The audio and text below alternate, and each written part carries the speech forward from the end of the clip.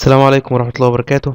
أهلا بكم في الدرس الرابع من دروس تعليم أوتوكاد 2014 في درسنا هنتكلم عن ال layers. layers أو الطبقات هي كأنك ترسم على لوحة لكن اللوحة عبارة عن ورق شفاف. الورق الشفاف اللي أنت بترسم عليه بيكون طبقة ضمن لوحة كاملة. بمعنى قدامنا الرسمة ديت هي رسمة عبارة عن مكتب آه تجاري. أنا هنا مثلا عايز آخد الوولز أو الحيطان علشان أحط عليها رسمة آه كهرباء مثلا. ممكن من هنا أجي أختار أي جزء من الوول وبعد كده أقول له isolate.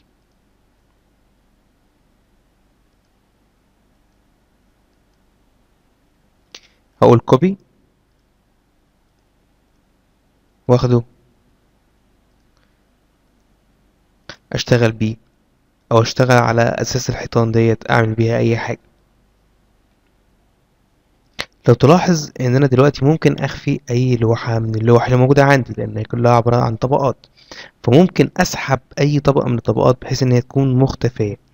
فمثلا أنا عندي هنا هعمل ان ايزوليت عايز مثلا ألغي الطبقة اللي مرسوم عليها المكاتب. فممكن أجي من هنا وأقول له اطفي لي الطبقة اللي مرسوم عليها المكاتب.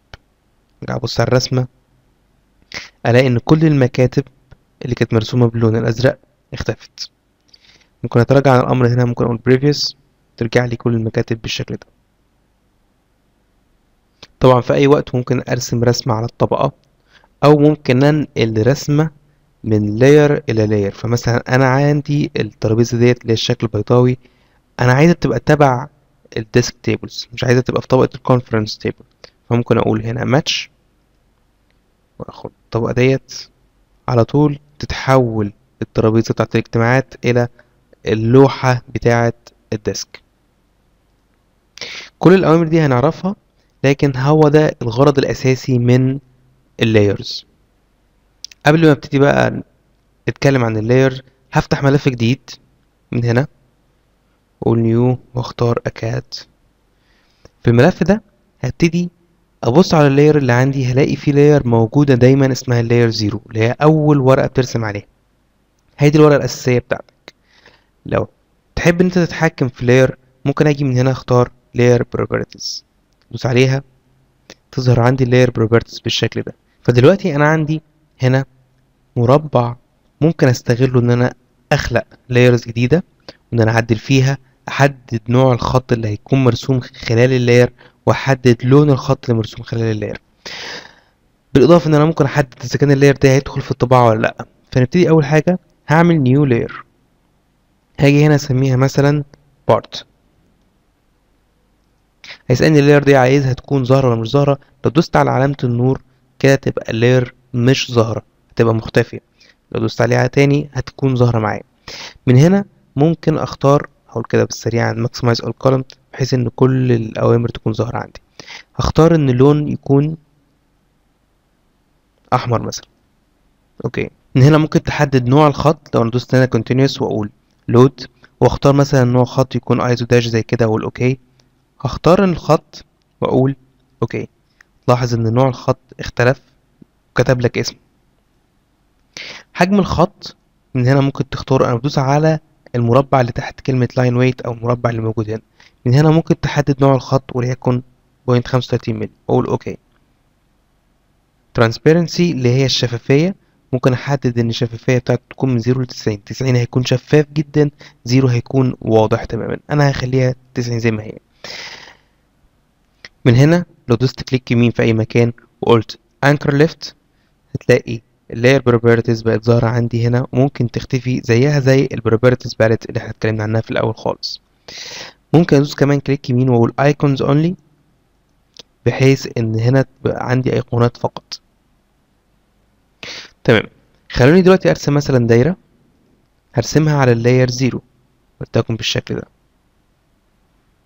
هقول خمسة. هرسم دايرة تانية على layer zero برضو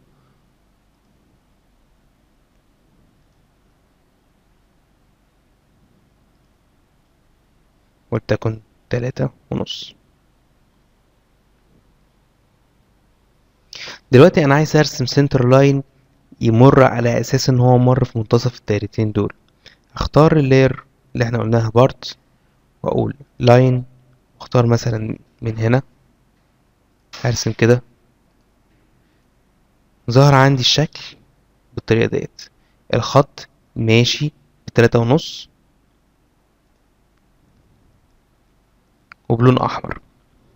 ال properties اللي ظاهرة عندي هنا by layer يعني هو هنا مش هيهتم بلون الخط أو بحجمه أو آه، بنوعه لأن هو بيرجع دايما لل properties اللي أنا قلت له عليها في ال part. لو أنا حددت له حاجة غير كده لو أنا قلت له مثلا اختار ده وخلي إن لونه يكون أخضر وجيت ارسم أي حاجة تاني. هقول مثلا دلوقتي أشيل الاختيار من على الخط ده. وهاجي أقول أرسم خط دلوقتي على layer zero ده زي ما هي هلاقي إن كان لونه بقى أحمر. لما أجي أختار الخط ده هو لا يزال جوه ال layer اللي اسمها part واحد. لكن ال properties اللي أنا قلت له عليها من هنا هي اللي هتطغى على اللي موجود هنا. خليني أمسح ال center line ده وأرسم center line تاني. نفس ال layer بتاعت part أختار part وهقول دلوقتي أنا عايز part أغير شكل الخط اللي فيه. هرجع هنا. مجرد بس ما وقفت عليها مدوستش حتى click هختار تحت ال line type اختار ده كده.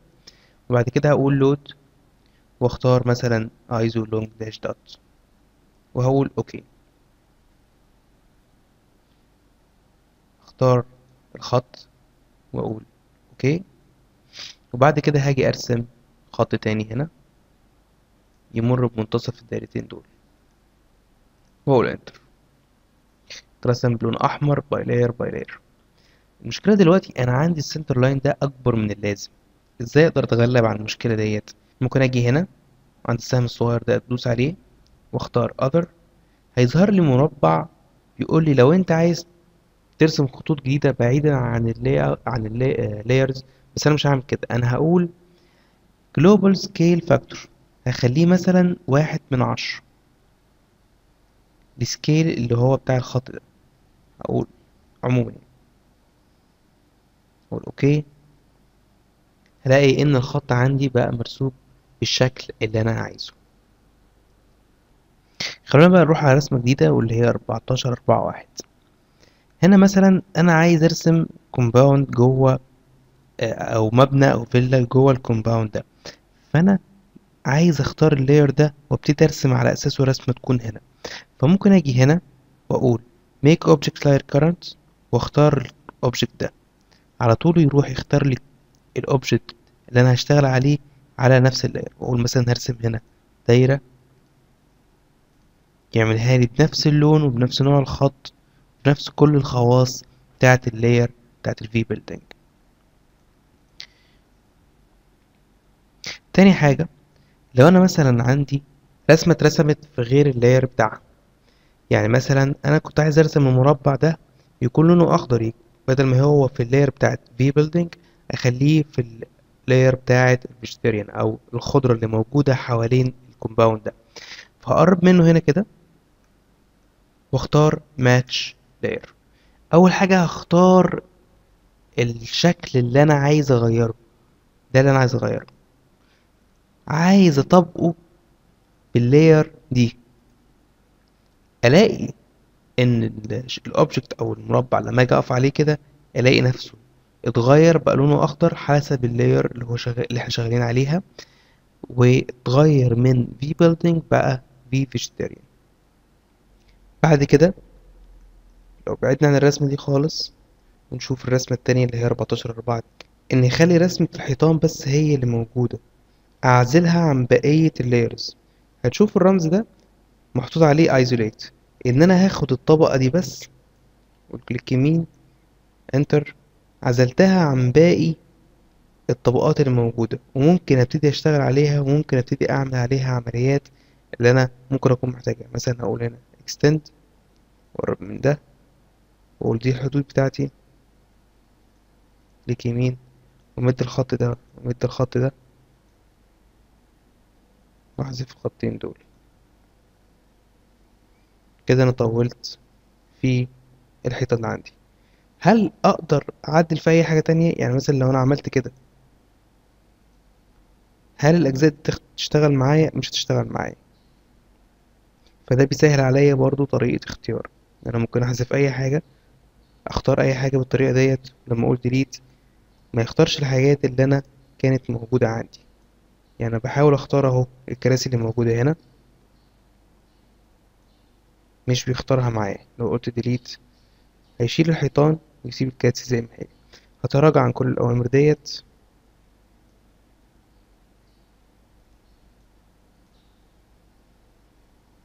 وهو ال previous state على أساس إن أنا هرجع حالة ال layers إلى ما كانت عليه من قبل. يعني أنا اخترت isolate وقلت له مثلا اعزل لي كل حاجة ليها علاقة بال desk enter لو عايز أرجع للحالة اللي أنا كنت عليها الأول ممكن أقول previous يرجع لي كأنه أمر undo تقريبا يعني.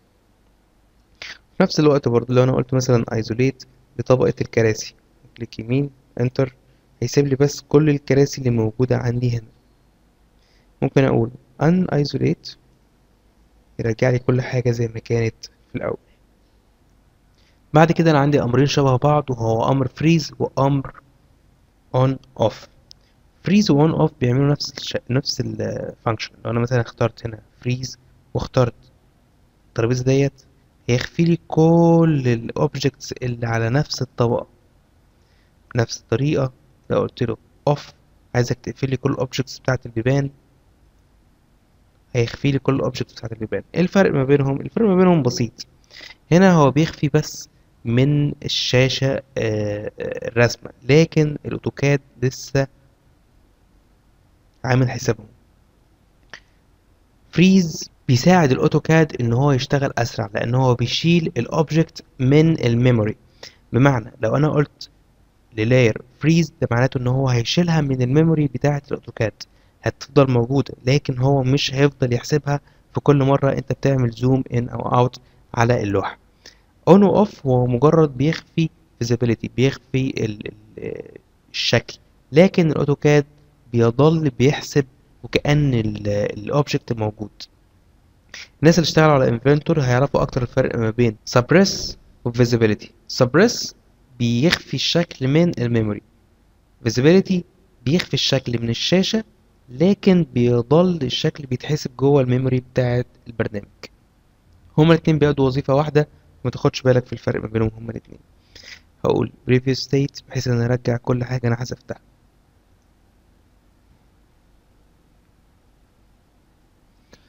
اوبشن تاني ممكن أستغله اللي هو unsafe layer state أو layer state. خلينا نجيب الرسمة دي كده على جنب وهاجي هنا. هقفل شوية layers.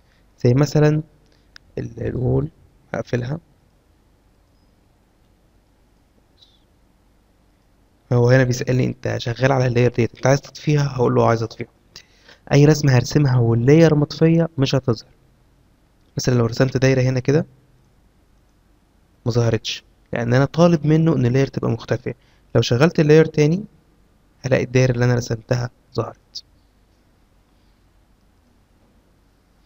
دلوقتي هلغي ال green وهلغي ده كمان. والغي ال desk. وهحفظ ال layer state ديت هقول new layer state وهقول no desk وهقول okay هرجع تاني هنا واشغل اللي أنا طفيته وهلغي مثلا ال عايز أعرف أنهي layer ديت أقف عليها كده وهقول ال layer ديت هلاقيها plumbing فكويس. هطفي. هقول هطفي ال plumbing وهطفي ال leather furniture واطفي كمان البيبان. وهاجي هنا هقول new layer state هقول له no door أقول okay دلوقتي لو أنا عندي عميل عايز أوري له الرسمة بدون البيبان هسيب له ال layer state ديت لو عايز أوري له رسمة تانية من غير المكاتب هوري له ال layer state ديت layer state إن أنا خدت مجموعة من الطبقات وحطيتهم في حالة مع بعض. مجموعة تانية من الطبقات وخدتهم في حالة مع بعض. وأسمي كل حالة layer state بالاسم اللي أنا عايزه. هاجي هنا وأقول السهم الصغير ده وأقول له turn all layers on عشان يرجع لي كل ال layers on. كمان لو أنا مثلا مسكت أي layer من ال layers وقفلتها ب freeze كمان plumbing و leather furniture في أي وقت أنا عايز أرجع كل ال layers اللي موجودة عندي ممكن أقول thaw all layers. بنفس الكيفية أنا لو دلوقتي رجعت قفلت الأشكال ديت من هنا الأمر ده ممكن أقول turn all layers on. اختاره يرجع لي كل ال layer اللي أنا طفيت النور عنها. ال layers اللي أنا عملت لها freeze تجميد. يعني مثلا أمسك أكتر من layer أمسك دي كده freeze freeze ال layer اللي أنا جمدتها ممكن أرجعها كلها تاني في خطوة واحدة وأقول thaw all layers ألاقيهم كلهم رجعوا. بعد كده أنا لو عايز أقفل لوحة من اللوح مش عايز طول ما أنا شغال اللوحة دي يهتم بيها الأوتوكاد. فمثلا هاجي أقول هنا عند ال wall هقفله بالطريقة ديت. لاحظ إن. إن اللون خفت بقى حصل إن فيه خفوت وفي نفس الوقت مش قادر أختار أي حاجة فيه مش قادر أحذفها مثلا. ما أقدرش. لو أنا اخترت ده كده ما أقدرش أختار ال layer ده. لو عايز ألغي ال lock ممكن أقول unlock واختار ال layer ألاقيها اشتغلت معايا تاني. دلوقتي لو أنا عايز أتحكم في الشفافية بتاعة ال layer اللي معمول لها lock ال layer اللي معمول لها lock ديت ممكن من هنا أجي أقول locked layer fading. أختار أخليها مثلا سبعين في المية. ممكن أسحب من هنا السهم ده ممكن أجي هنا أدوس وأكتب سبعين في المية. هاجي هقول lock layer وليكن هن... هنقفل ال layer بتاعة ال wall. هقفل ده كده. هلاقي الشكل عندي بقى خافت أكتر من المرة اللي فاتت لأن أنا لما قفلته المرة دي بقى خافت تسعين في المية هيكون يدوب ظهر. خلينا نجربها كده.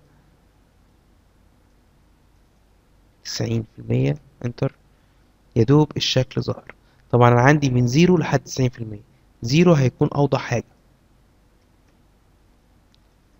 في المية هيكون أكتر شكل خافت. دي كانت باختصار اوامر ال layer هرجع لل layer الشكل السابق لل layer أو الوضع اللي كان سابق للوضع اللي أنا اشتغلت عليه دلوقتي.